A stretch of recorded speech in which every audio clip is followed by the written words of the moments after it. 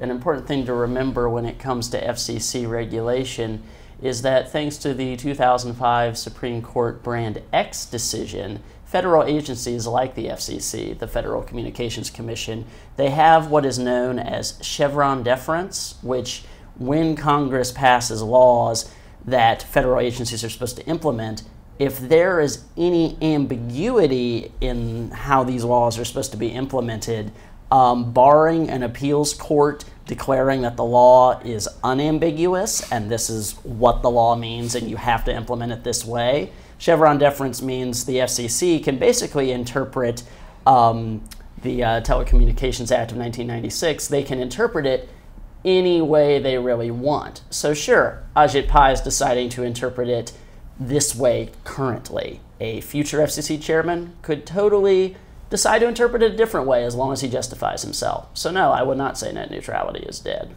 This time on 20 Minutes into the Future, Plutopia News explores net neutrality. On Monday, July 11th, the Federal Communications Commission allowed their policy on net neutrality, first implemented during the Obama administration, to expire. Since then, many remain confused about net neutrality and what its elimination means. Plutopia News recently attended a presentation by EFF Austin President Kevin Welch where he explained net neutrality and the effect its rollback will have on digital citizens. Jon Lebkowsky and Scoop Sweeney spoke with Kevin prior to the presentation. Hey, this is Jon Lebkowsky of the Plutopia News Network. Uh, we are actually at a talk that uh, my pal Kevin Welch is going to give tonight about net neutrality. Kevin is, among other things, the president of EFF Austin. He took over from a, a beleaguered and somewhat haggard former president, which looked a lot like me. Um, and Kevin has uh, has been totally uh, in the swim of various digital freedom issues since he took over, and has a really great comprehension of the issue of net neutrality. So we here tonight are going to hear a talk about the net neutrality issue, and before the talk starts, we're taking a few minutes with Kevin to. Um, to, to get a, a sort of more intimate download. Uh, Kevin, what are you going to talk about tonight?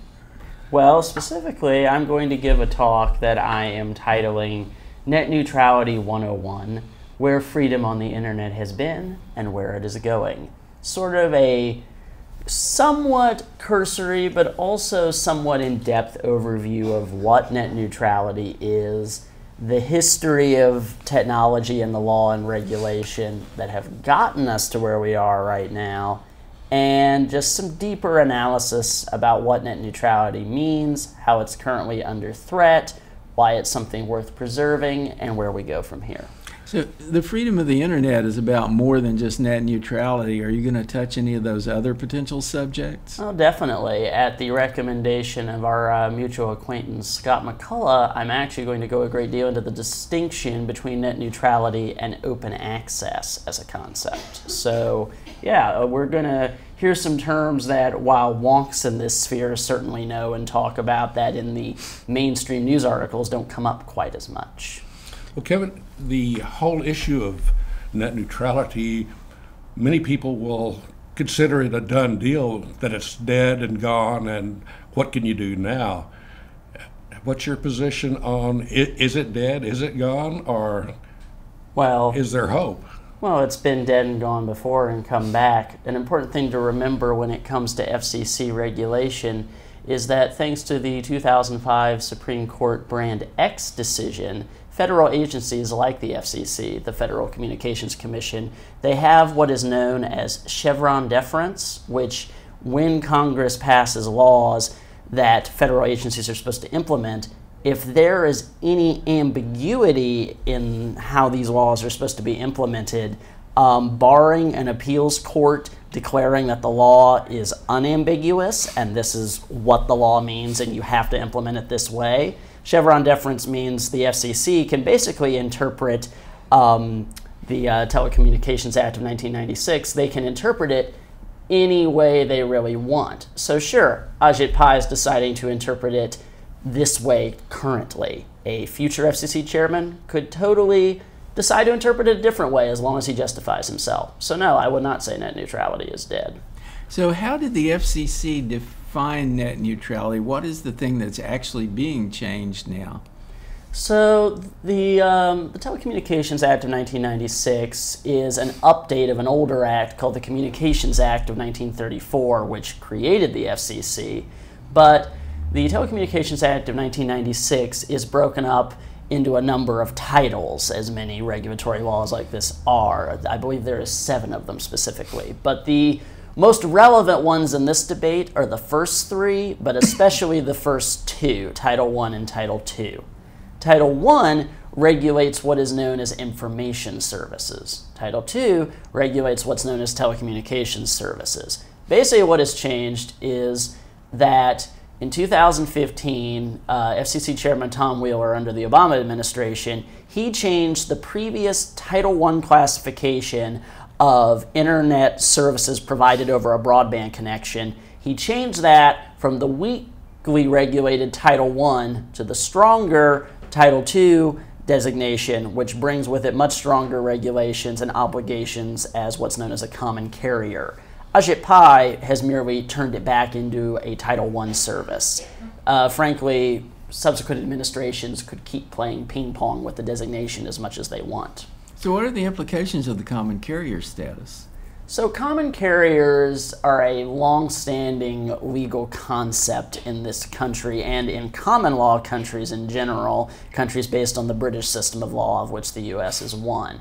Common law countries are basically countries where uh, judicial precedent is how law is made ultimately. And this ultimately all traces back to a law in the US in 1887, the Interstate Commerce uh, uh, Law of 1887, that created what's known as the Interstate Commerce Committee. Um, this is kind of a predecessor organization to what eventually became the FCC. Um, but um, specifically, this law invented an idea of what we call common carriers. Um, it was specifically created to regulate the railroad industry because there was a problem the country was facing where railroads are an example of what is known as a natural monopoly. Now, what is a natural monopoly? A natural monopoly is any uh, market where the normal marginal cost distribution curve does not look like it normally looks. Normally, every additional unit you produce, the marginal cost goes down, and usually you eventually hit some breaking point, some minima, where then it goes up after that. Um, and basically, most, most of these things obey, most um, econ economic uh, markets obey economies of scale. Natural monopolies don't really do this. They have very high costs to entry of the market, usually prohibitively high infrastructure investment costs. Uh, networks, all types of networks, usually are natural monopolies because network infrastructure is expensive to build. So basically, what had happened was the railways, which had become essential for everyone to move around the country, both move themselves around and also move goods and services around, it had gotten to the point that the people who were first to market and owned the railway lines had incredible power over almost everyone else in the country to dictate how they could run their affairs. And so Congress basically stepped in and said, sure, most of the time we want to take a laissez faire approach with the market. But in situations where there is a natural monopoly, it is to the public's benefit to step in and while not say that the owner of the natural monopoly can't have their monopoly, but that they sort of can't abuse it too bad, basically. And so they basically declared that railways are common carriers. Specifically, what a common carrier is, is it is a business whose job primarily is conveying goods or people for another person or corporation. And the key things about this is they have to be what's known as non-discriminatory. They can't they have to take all comers. They can't deny service to anyone. And furthermore, they can't charge different prices to different customers or for delivery of different kinds of goods. Now, they can charge differently for raw throughput. Like they can charge more if something weighs more, but they can't charge more based on the contents of what it is. So that's roughly and in short So what it comes. that's the concept of neutrality, really. Y- yes, that the physical medium of the network itself needs to be neutral. And what the Communications Act of 1934 that created the FCC did is it had the brilliant stroke of realizing this doesn't just have to apply to physical networks of goods and services, it can apply to informational communicational networks as well Like telephone networks. like telephone networks. The act was specifically passed because, much like with the railroads, America was growing very concerned with the Bell telephone monopoly and needed to rein that in. How successful they were about that is an entirely another topic we could go into. Well, I was oh, reading ahead. t- today about the California legislature's attempt of doing a California net neutrality law, and apparently that got derailed by AT&T and Verizon's uh, House legislator. Yes, ostensibly a essentially- Democrat. Yeah, yeah, which was well, not surprising. Not surprising. I used to live no. in California, but is there any realism involved in those kind of efforts? Since, as we've seen with other areas, the the federal administration, the Trump administration, has been going against local control when it uh, suits them. I mean, you know, there sure in theory there's nothing preventing potentially a packed Supreme Court from offering some kind of ridiculously heavy-handed overreaching ruling saying that states can't pass laws regulating their networks within states. Although I although this is not my area of expertise, but I do don't think I'd be wrong in saying that they would have to ignore a hell of a lot of precedent about how the 10th Amendment is interpreted for them to try to make such a ruling. Not that that stops this administration, but they're, you know, they I'd be intrigued to see the justice's argument justifying it. And furthermore, I actually think state by state ad hoc approaches are actually totally in the spirit of what the internet is. We have to remember the internet is a network of networks. It itself is kind of a federated system where a local network operator has control over their own local network, but they have to play nice when it comes to exchanging um, w- with their peering agreements between different networks, But how- basically. How, true is that now, uh, when there's more of, of a more of the of the data is carried by a few big backbone providers? Well, that's definitely going to be one of the things we're going to get into the, in the talk, when specifically about open access, because open access. So, key thing to understand about net neutrality, if you've actually uh, you know read Tim Wu's original 2003 paper where he really coined the term, which I have. Um, so, the thing is, net neutrality is actually, despite common misconception, it's not the means; it's the end. We want a neutral network. There's multiple ways to achieve a neutral network, though the two most commonly cited ways, and which Wu talks about in the paper, are via open access or broadband discrimination. Now, these are two different approaches. Open access, so when we talk about the OSI model of the architectural stack of the Open internet, right? yeah. Um, sort of when we talk about the layers below TCP/IP, we usually call them the physical or data link layers, and the layers above we usually call the applications layer. Open access is a physical data links layer solution, while net neutrality, uh, uh, well, sorry, while as broadband discrimination, uh, or rather banning broadband discrimination, is an applications layer solution, basically basically um, broadband discrimination basically is the approach saying that okay there's a few big isps who own the networks own access to the networks but we're going to pass laws saying that everybody who is creating applications or information services on their network uh, enhanced services as they're sometimes known um, that basically that that ISP cannot discriminate among those different users and has to treat their packets equally. Open access basically moves the um, the thing that is subject to common carrier title II regulations down the stack, where rather than saying that access to the network needs to be treated like a common carrier. Open access says you treat the network itself as a common carrier. In other words, what it's basically saying is sure, some company owns the phone lines, owns the cable lines, whatever. They can't also own access to that network. They have to allow rival ISPs access to the network.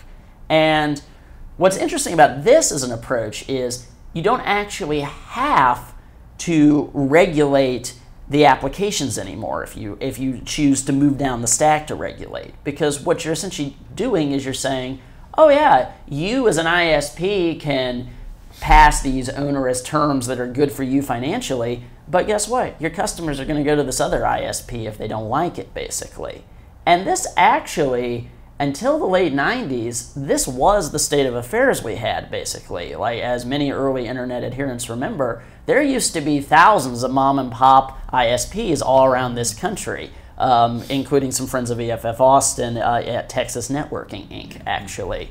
Um, but what happened between the passage of the 1996 Telecommunications Act and 2003 when Tim Wu wrote his paper is that through a series of court decisions and FCC interpretations, they basically removed the right of small ISPs to get access to the local exchange carriers, which are necessary to get onto the network, basically. And what this has resulted in is the situation we're in right now, where we are at the whims of a few large ISPs to the point where the only way there can be new entrants in the market is if they already have massive capital to work with.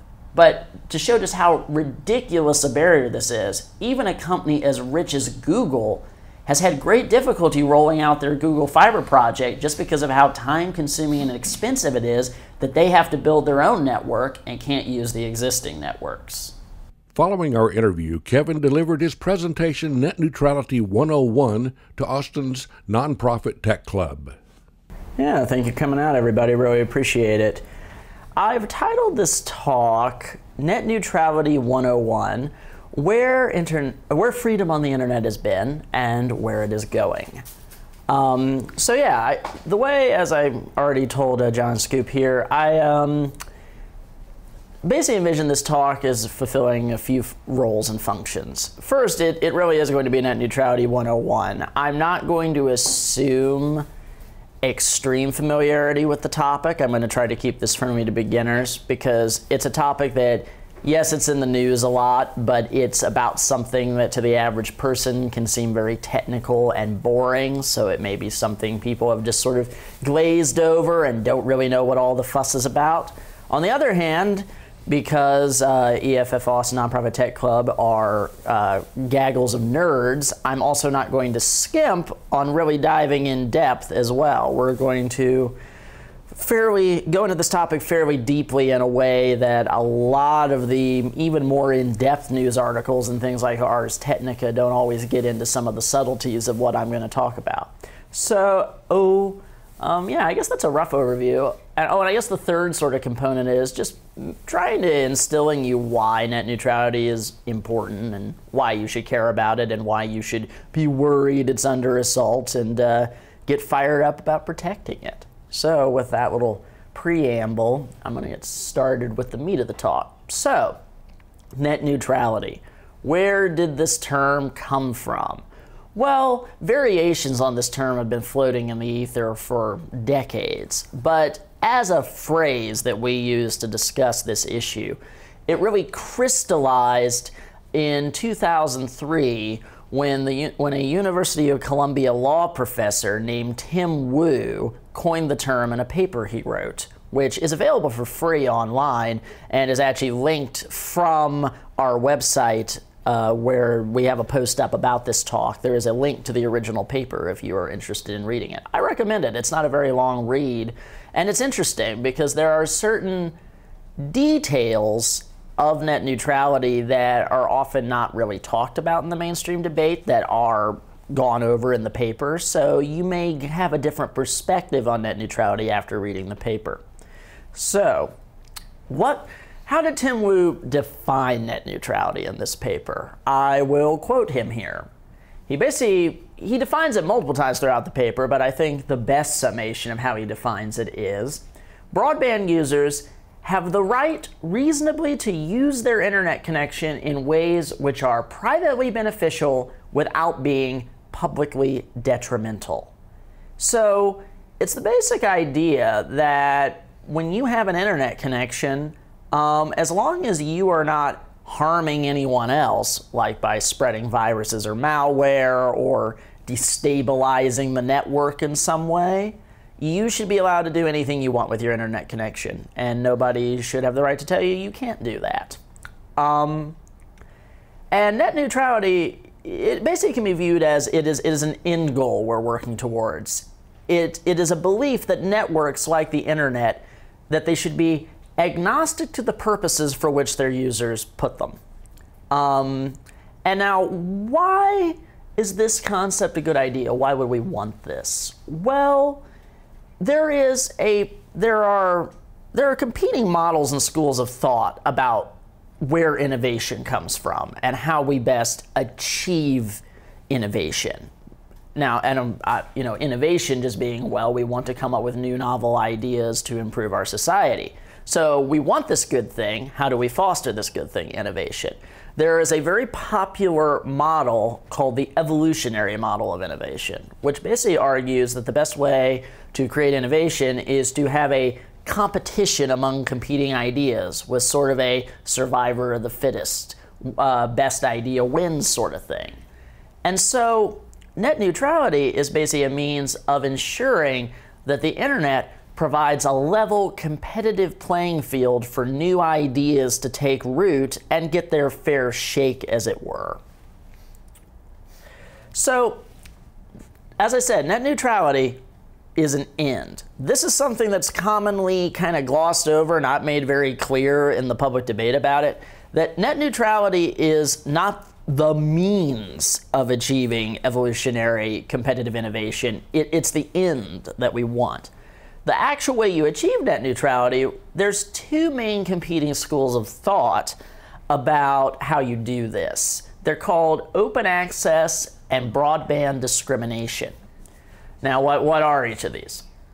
Open access basically says that you should allow independent internet service providers to be able to access the physical infrastructure of the internet, such as phone lines, cables, etc if you are familiar with the OSI model of internet architecture, this is a solution at the low levels of the stack, the sort of physical or data link layer. Now, broadband discrimination, or rather anti broadband discrimination, is more what most of us think of when we think of net neutrality. Net neutrality has kind of been conflated with this means of achieving net neutrality in the popular discourse. But and um, limiting broadband discrimination is the idea that a bundled cable or ISP provider must not discriminate between the uses to which end users put the network. Again, referring to the OSI model, this takes place at the top or the application layer of the stack. So if we sort of think of the backbone of the internet being TCP IP technology and protocol, um, Basically, broadband discrimination takes place above that, and open access takes place below that. Now, Tim Wu discusses both approaches in his original paper. He's ultimately an advocate for uh, the application layer solution for what we commonly think of as net neutrality. He talks about open access, and in the paper, he gives some arguments why he doesn't think it's the best means of achieving net neutrality. I actually, after having extensively researched the subject, find myself somewhat disagreeing with him, but I'll get into that more later. But, so to start off, those are sort of the two approaches. Now, at this point, it may not be entirely clear really what the distinction between these two approaches is yet. So I'm going to kind of now shift into going over sort of the history of networks and net neutrality to sort of give you an idea of because these two approaches, you they somebody not very versed in this, you may not be seeing the distinction between these approaches yet.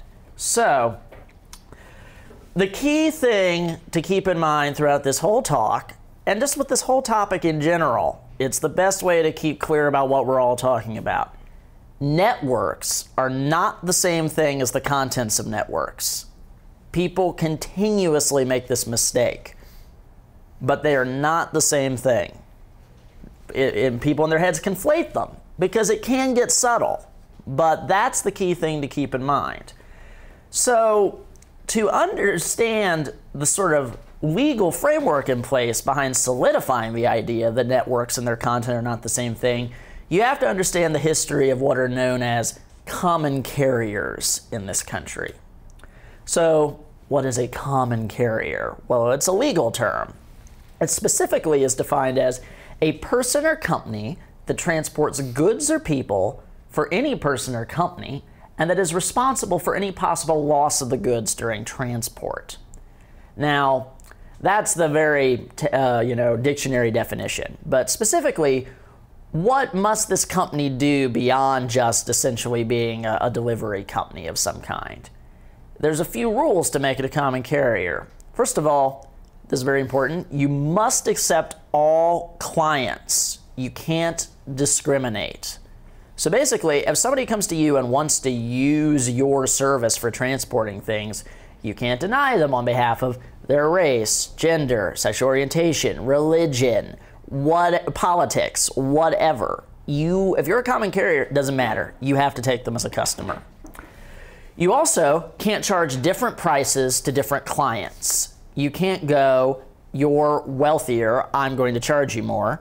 You can't go, you want this service more, I'm going to charge you more. You can't do these things if you're a common carrier.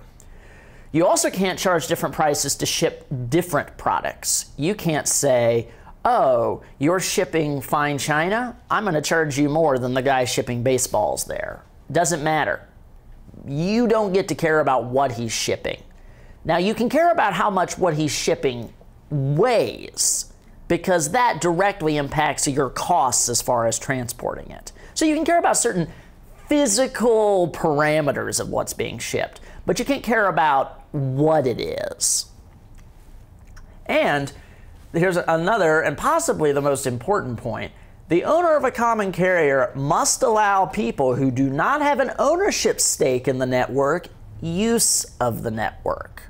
Now, in a country such as the US, which is a free market capitalist country that really lionizes the value of private property, we might wonder why are common carriers so enshrined in US law if we're a country that is very big on lack of public ownership, shall we say?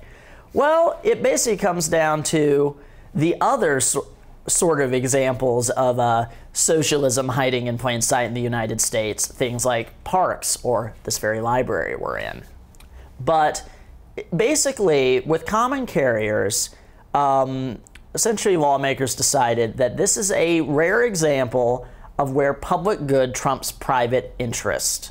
That in this particular situation, the benefits to the public of these regulations on common carriers so outweigh the limitations it puts on the common carrier that we are going to slightly curtail the freedom of the owner of the network to gain a massive benefit for society as a whole.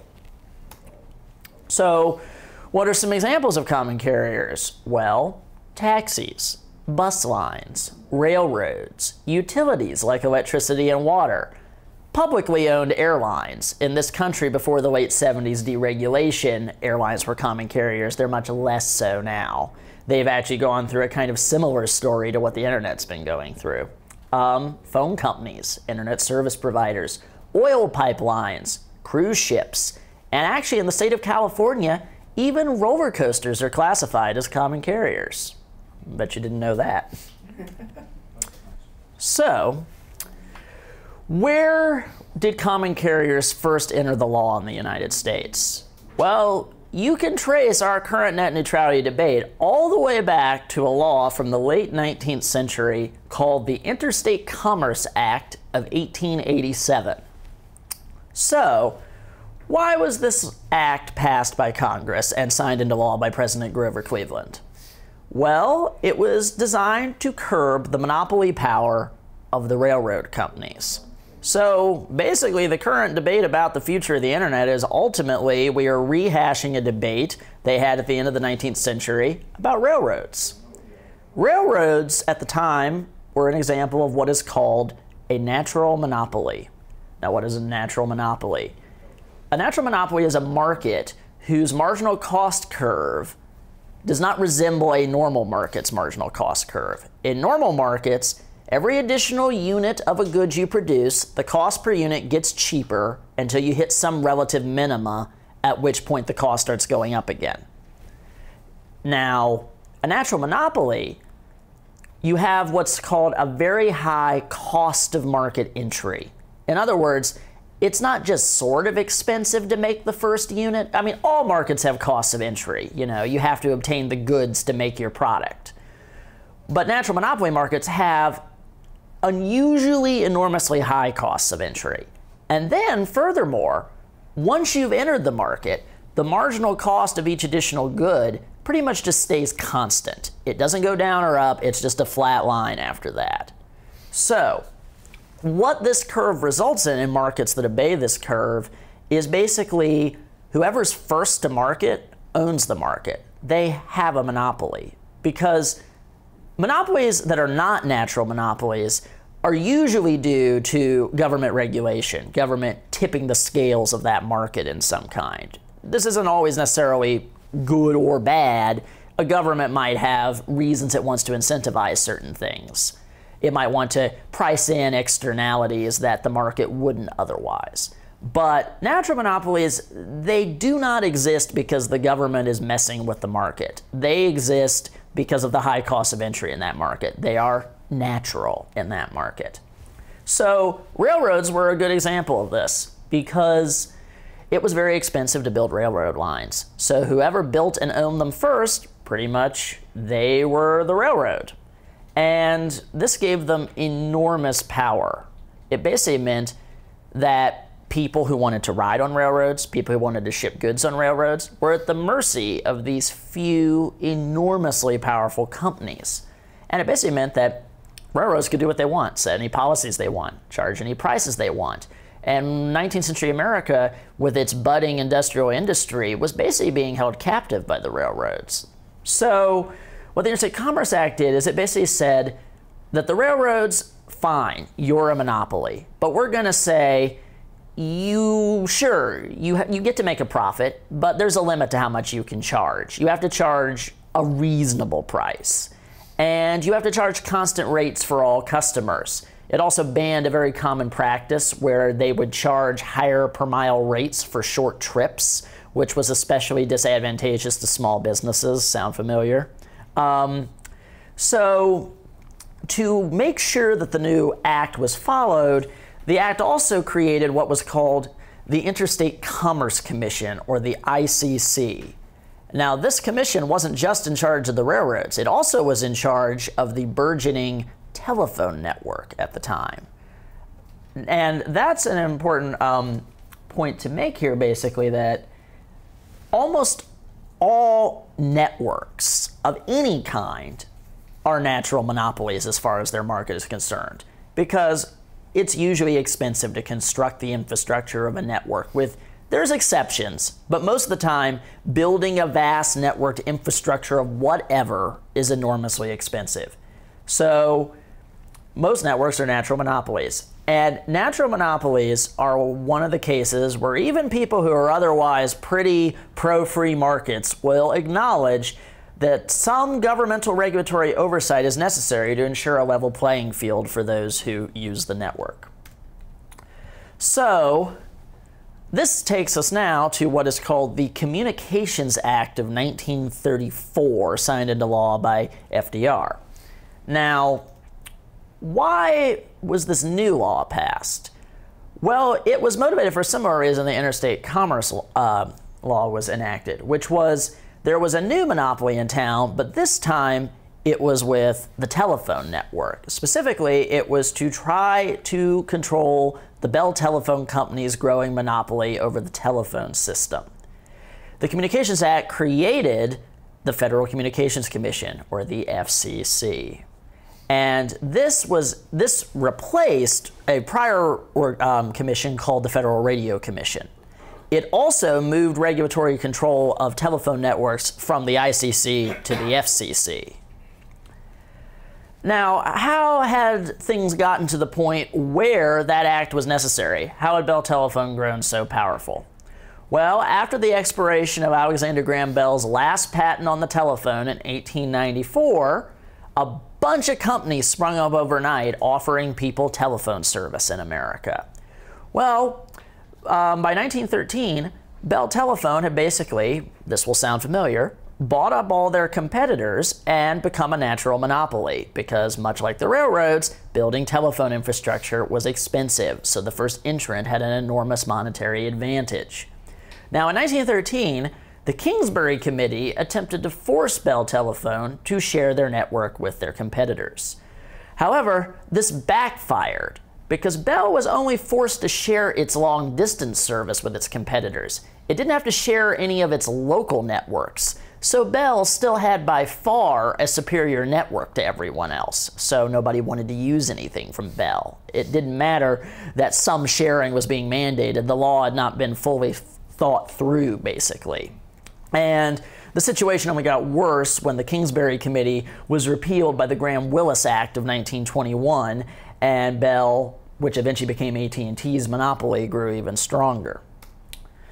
So, the Communications Act of 1934, the novel thing it did was it extended the idea of common carriers from physical goods networks to communications slash information networks. To do this, it created two major classifications of networks Title I and Title II, which you've probably seen in articles about this topic. So, Title I networks are what are called information services networks. Title II networks are telecommunications networks. Now, this is where the current back and forth debate about how to regulate the internet, this is one of the key points about it, which is Title II networks are subject to much stricter common carrier regulations. Title I networks aren't subject to common carrier regulation. This will be very important later. So, the state of affairs after the passage of this act was reasonably stable for several decades. And sure, there were critics of the law. In fact, if you go back and read old newspaper articles, there are articles that sound very similar to the debates of today of people saying that FDR had overreached and this was restriction of the First Amendment and free speech and government tyranny run amok. Um, whether or not you think that was true or not may depend on your political ideology, but we've been having this debate for a long time in this country. First about railroads, then about telephones, now about computers and the internet. So, what started making the Communications Act regime break down? It was basically the invention of computers and the ARPANET. What happened was that basically before the advent of computers, phone networks were unambiguously Title II communications networks. They were engaged in purely raw transmission of data. That's the key legal point. That a Title II network is not modifying the data it sends in any way, it is raw transmission.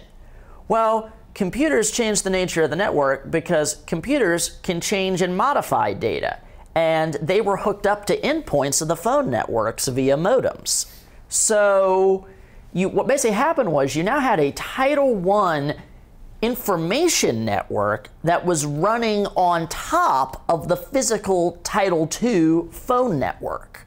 So th- this is a key thing to understand this whole debate right here. That remember when I said very er- earlier, it's very important to make the distinction between networks themselves and the content of networks. So the network itself is the Title II phone network. The computer data running over that network is a Title I informational network. It is content in the network. It is on top of the network, as it were.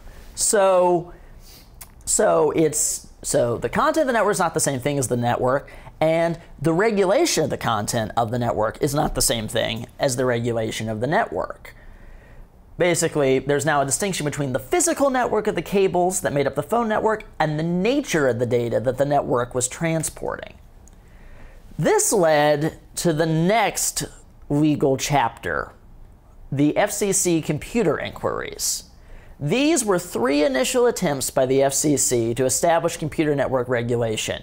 They took place in 1970, 1976, and 1985. Now, the key thing that came out of these inquiries is it established an idea of basic network service versus enhanced network service. As I already said, basic network service, it's raw transmission of data slash packets on a computer network.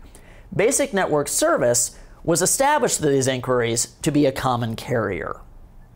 Now, and what this meant was that a provider of basic network service had to allow the creators of enhanced network services, things like email and the World Wide Web, access to their networks in a neutral fashion. So providers of basic network services, at, as established by com the computer inquiries, can't offer their own Title I enhanced network services unless they do a couple things. They either have to allow competitors to offer enhanced services on their network, they have to offer an unbundled basic service package. And, and what does this mean in this context? This is actually very important. What it means is that if I own a phone network, but I also own a internet service provider, I own a company that allows people access to that phone network. If I own both of them, I can't say you can only have access to the phone network through my company that offers access. I have to basically tell, if I won't let my competitors on the network, I basically have to say, okay, if you just wish to purchase access to the network itself from me so that you can do anything you want, including establishing your own company that's an internet service provider that provides access to the service of the internet running on the network. Um, I basically have to, I basically have to I can't bundle them. I can't say you only get the network if you do it my way through my access. I have to be say I'll just sell you the network, you know and you can form your own ISP, do anything you want basically. So, and then finally, the other way that a basic network service could have enhanced network service is what's called structural separation, where basically the company that was the ISP, through proper accounting, had to be a completely separate financial entity from the company that owned the network itself. So these were the big legal innovations of the computer inquiries. And as I was sort of dancing around saying there, it's important to understand that what these inquiries establish basically is that being an internet service provider, an ISP, is itself providing enhanced network service. This is one of the mental things that's easy to get hung up on, hard to grasp about this. But because as I said, it's very the human brain wants to conflate networks with the contents of networks, and the place where this happens the most is with ISPs. ISPs are not the network; they are enhanced service giving access to the internet data running on the network. The internet is not the same thing as the network of phone lines the internet runs on. Now, this distinction that the computer inquiries established is what allowed for the internet to become the immense success it is. Because what it meant was that anyone could approach the owner of the phone lines and say, I want to buy access to the phone lines from you. And they could literally go start their own company providing access to the internet for other people. They could start their own ISP. For those old enough to remember, back in the 1990s when the internet first went public, there were thousands of small internet service providers around this country. It was not the state of affairs it is now, where there are five or six behemoth monopoly duopoly ISPs that we all have to choose from. We used to have true choice in this market. And it's this choice that allowed for that evolutionary model of innovation to really flourish.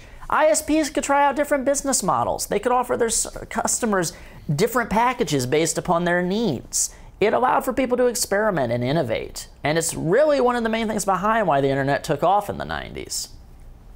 Now, as I just said, the internet took off in the 90s with the public.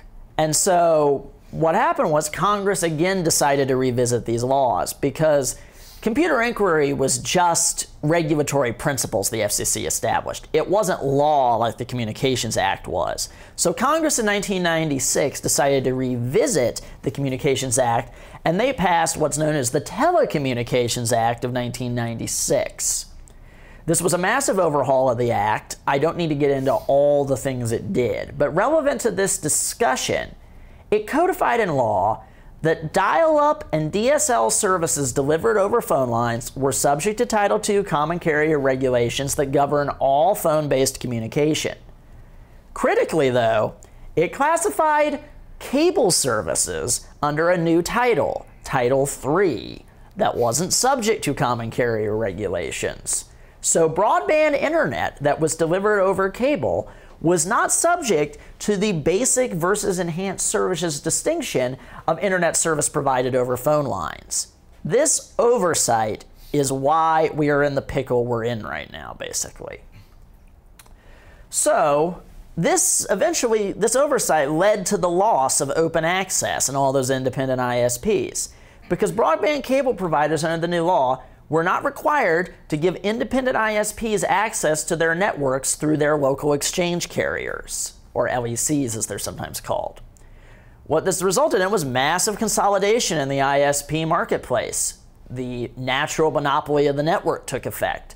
And now, only ISPs that were also owned by the major cable companies that actually own the cable networks were able to succeed. Small independent ISPs who couldn't afford to build their own networks went extinct. And even as you all may, who have been following this in the news, even a major multinational corporation like Google, who's been trying to become an ISP and roll out Google Fiber, you'll remember it's been taking them forever. And they only offer service in a few cities to parts of those cities. And the main reason, even though they are loaded, it is so difficult is that their competitors will not give them access to their cable lines. They're having to build their own network. Even if you're rich as Google, this is an almost impossible undertaking. So this truly is a captured market at this point. So, Tim Wu, basically, this is where Tim Wu's paper comes in in 2003. This consolidation had mostly happened by this point, and people were understandably alarmed. And so Tim Wu argued in his paper basically that if net neutrality from open access couldn't be achieved legally, the broadband discrimination approach could achieve the same effect. Basically, what he argued is if enhanced service providers can't have direct access to the network itself, except through the offerings of the broadband provider, the broadband provider must not put restrictions on what Title I information services providers who use their ISP are allowed to do with their network access. So, and there was good reason to believe that these principles were needed because, as those of us also old enough to remember in the early 2000s, many things that we would now consider de rigueur, very common things to do with one's internet access, uh, the cable broadband providers at the time explicitly tried to ban in their contracts. For instance, things that they wanted to forbid you from doing. Uh, this one will be the most laughable to people today that you couldn't share an internet connection with more than one computer in your house.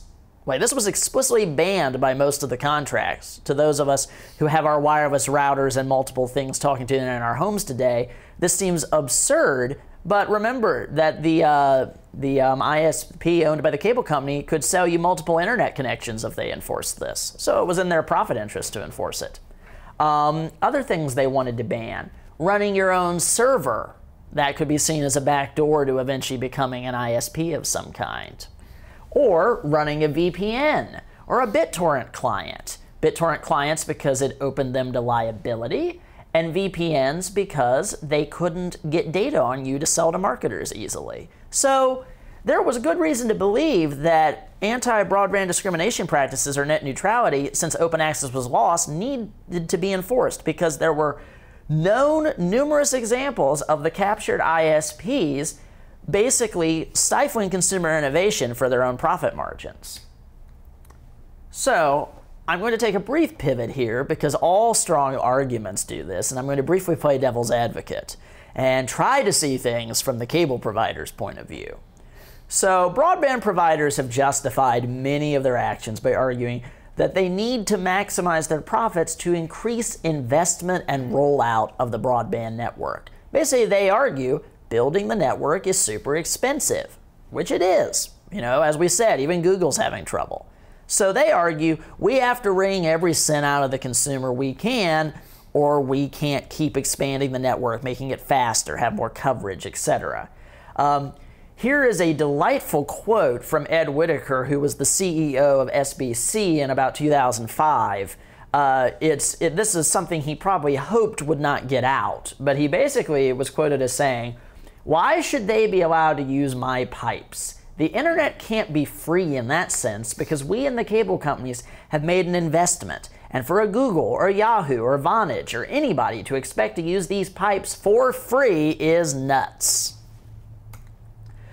So, now the thing is, Wu disagreed with the broadband provider's discriminatory uh, practices. Um, but he did give them an inch in his original paper, in that he makes the argument, an argument which I don't entirely agree with and which I will rebut in a minute, that he basically argues he basically says the reason he's ultimately not in favor of restoring open access and trying this other approach is that open access isn't truly as neutral as its advocates claim. That the structure of the network itself is not completely neutral to all applications. Specifically, that the nature of TCP IP as a protocol disfavors network uses that are latency sensitive. Basically, in TCP IP, there is no quality of service, or QoS as it's often abbreviated, guarantee that applications such as streaming video can have their packets prioritized, fast lanes, which leaves them at a disadvantage. Basically, Wu argues there are certain applications for which if they don't have low latency, their application doesn't work and consumers won't use it and will instead use something else. That basically the physical nature of the network itself is not entirely neutral to all applications. And he's not entirely wrong about this. It's actually a fairly strong argument that open access is not, you know, the universal cure all for everything. However, on the other hand, advocates for open access, which in all the research I did for this presentation, I've become more in favor of myself. Basically, what I and they would probably point out is that forcing the network itself to be a common carrier instead of the providers of service on the network to be common carriers would allow for a diversity of ISPs that can serve different customers with different needs. An ISP could explicitly market itself as providing paid fast lanes for low latency applications. And this wouldn't be a problem in this scenario because a consumer could easily choose a competing ISP with a different policy if they didn't like that. But most we can't now with our current situation. So, we're getting close to where we are now. So, we're entering the home stretch. So, Wu presented his network neutrality, anti broadband discrimination argument. And the FCC, to its credit, they largely agreed with him that net neutrality at the application layer was needed. And so they, over the next five years or so, they started trying to force companies like Comcast to stop these practices. But they kept getting shot down in court, where what would happen is the ISPs would sue the FCC, and they kept winning in court. And the reason they kept winning is this gets back to some of those little distinctions I was alluding to. That as long as cable companies' ISP offerings were classified as Title I information services, these services weren't subject to common carrier regulations. Only Title II telecommunication services were. In other words, the problem with trying to implement net neutrality at the application layer is that things that run at the application layer are information services. And so common carrier legally doesn't apply to them. So the FCC literally, under the Telecommunications Act of 1996, as long as something is Title I, they can't regulate it as a common carrier legally. So you you'll all probably be familiar with this part. In 2015, the FCC under Chairman Tom Wheeler finally realized okay, the only way we can implement net neutrality is we have to classify internet service as a Title II common carrier. Unless Congress changes the laws, like this is literally the only other option we have. Even though it doesn't actually make sense to classify the contents of the network legally as if they were the network itself. That's the only way to achieve this without open access that is legally left open to the FCC. Now we get to enter Ajit Pai. So, Ajit Pai is Donald Trump's newly appointed FCC chair. Most people in our community have very strong feelings about Ajit Pai.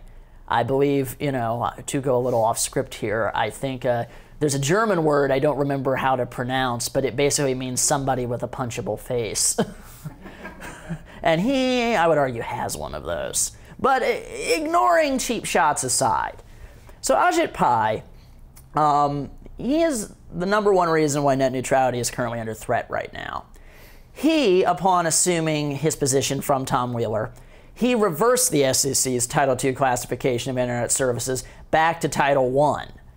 And the thing that makes this debate difficult is that Pai has something on his side, which is the argument that ISPs technically should be regulated under Title I as information networks, not Title II.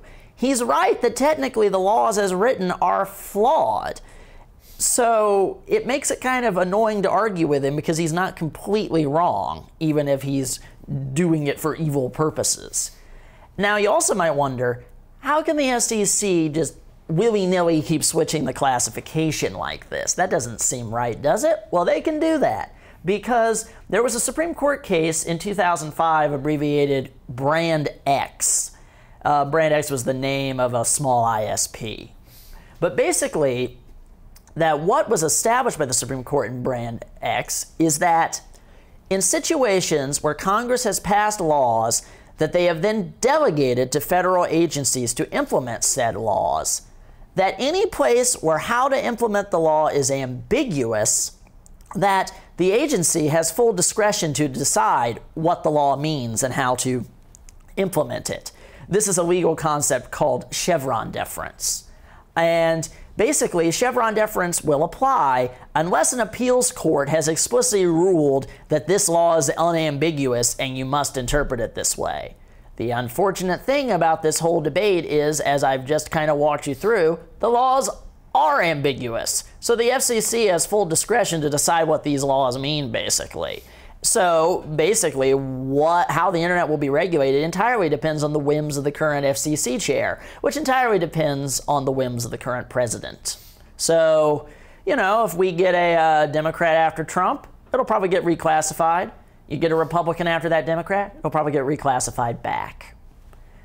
This is another reason why I ultimately think that open access is a stronger solution and fixing the laws is a stronger solution because we're just going to keep playing hot potato with the classification until we do.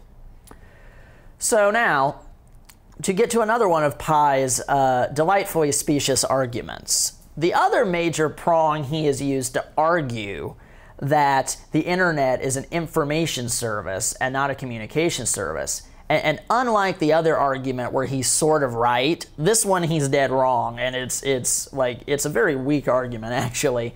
But he's trying to argue that the internet, you know, and and when he's saying the internet's not an information service, he's including actually the physical network itself. So you know, he's he's he's he's being completely disingenuous there basically that he's he's acknowledging no room for title II as far as the internet over broadband and cable is concerned but he's basically saying that well it's an information service because users of the internet they, they only care about the services they're requesting the website they asked for email they don't care about things like ip addresses or where a web server is physically located. Because one of the things Title II talks about in whether something is a telecommunications service is the language is very explicit about things like that it's a telecommunications service if an end user is explicitly from one endpoint of the network requesting another endpoint of the network, that they just care about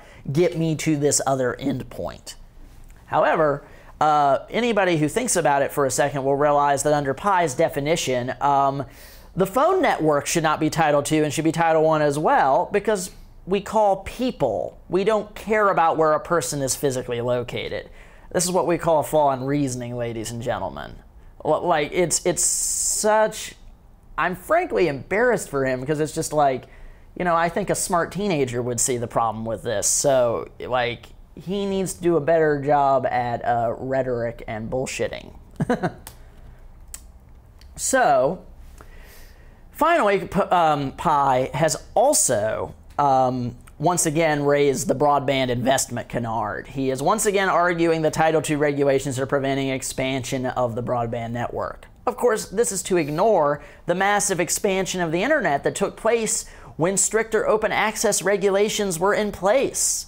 Despite between 1980 and 1996 the internet operating under de facto open access, it grew at a breakneck pace, the network. Those regulations didn't seem to hamper things. But most key, Yet another example of he's using a logical fallacy. Here he's using the broken window fallacy. Specifically, he's ignoring the costs to the users of the internet when he removes open access and net neutrality from the internet.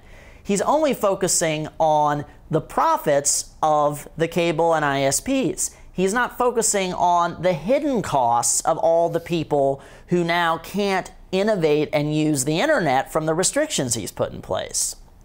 So, and, and, just to show how silly this argument ultimately is, the quickest way to spur broadband investment would just be to destroy the entire internet's physical infrastructure and start all over again and rebuild the whole thing. But that seems kind of counterproductive. So, you know, in conclusion to Pai's arguments, he's once again mistaking networks, access to networks, and enhanced uses of networks. And, you know, don't think that you know I've I've I've dunked on him, but also don't think he's stupid. He, he's a smart man. You know, I actually uh, a friend of mine, uh, her father actually knows Ajit Pai, and he he assures me that Ajit Pai is as loathsome an individual to know as you probably think he is. But don't think he's stupid.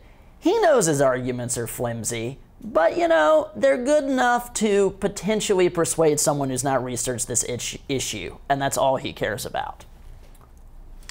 So, we're now at where we are. Where do we go from here? How do we restore freedom to the internet? Well, we've got a couple options. What I basically, as I think you will may have, have gathered from this talk I'm arguing, sure, we should restore net neutrality.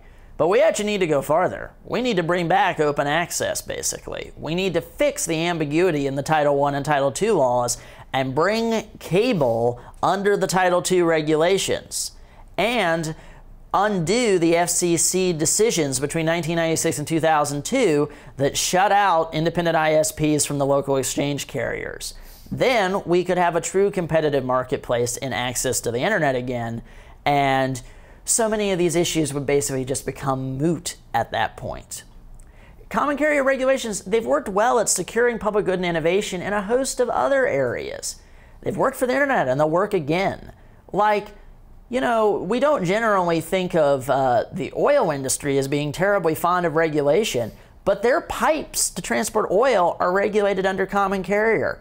And the oil companies, even they will admit that it's an unambiguous success because it leads to vastly lower oil prices for the consumer, which ultimately leads to greater long term profits for the oil companies.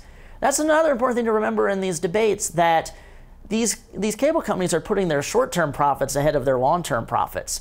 Happy long term subscribing customers will, in the end, net them far more money. They're they, like much of the problem in America today, with looking only at the quarterly budget and shareholder interest and not looking at the long term outlook, it's screwing us here with the internet as well.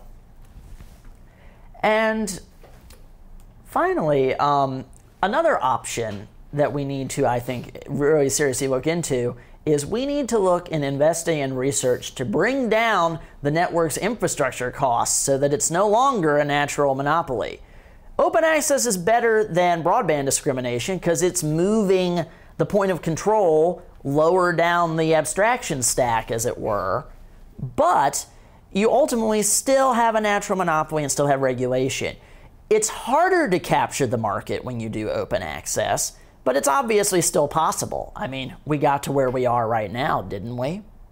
So, there are certain um, there are certain networks that in the past were natural monopolies, but due to decreased costs of construction, they eventually uh, stopped being natural monopolies. Like, you know, a good example would frankly be uh, the road network. It's gotten cheap enough to build roads through various means that, toll roads aside, um, they're not really natural monopolies anymore because people, you know, an independent player can build a new road for their needs. Um, so we need to look into ways to bring down the costs of building the internet, basically, so that we don't have to depend on the largesse of the people who own the pipes to let others access to those pipes. We need to push for, you know, a decentralized peer-to-peer network at both the physical and application layers of the internet. I mean, basically, if anybody's seen the most recent season of Silicon Valley, we need to build Richard's new internet, basically. So how do we do that? Well, I'm not the biggest technical expert to talk about it. I know some people push an idea called mesh networks. Now, uh, my friend, Dr. Brandon Wiley of the Operator Foundation, who's an expert on this sort of stuff, he's ultimately pessimistic on mesh networks uh, actually working. I don't know all his reasons, though I would, from a knowledge of physics standpoint, suspect it's the old problem of uh, power radiation lost in a, in a 3D space makes wireless internet being efficient over long distances an incredibly hard nut to crack. But it's still something, in addition to restoring open access, I think we urgently need to keep exploring. Because if you could destroy the natural monopoly over the internet, it would finally be something that bad actors couldn't control and that we could all share in equally. Bad actors would be punished, and we could, through mutual social shaming, build a useful network for all of us to enjoy. And um, finally, just stay vigilant, cyberpunks. Thank you for having me. Learn more about EFF Austin at EFFaustin.org. With Jon Lebkowsky, I'm Scoop Sweeney, and this is the Plutopia News Network, 20 minutes into the future.